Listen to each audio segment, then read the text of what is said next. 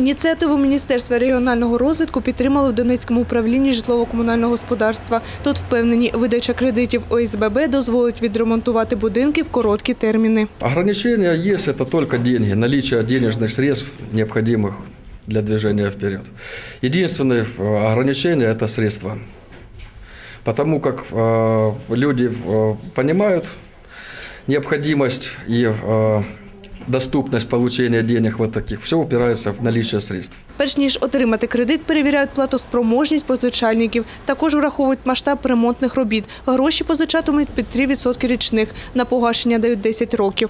Существует определенная методика по определению платежеспособности, финансовой состоятельности, в том числе по определению финансовых активов, поручительства, то есть как это принято во всем финансовом мире. Э, Кредит выдается сроком на 10 лет. Обязательно учитывается и э, хозяйственная деятельность, экономическая и финансовая эффективность.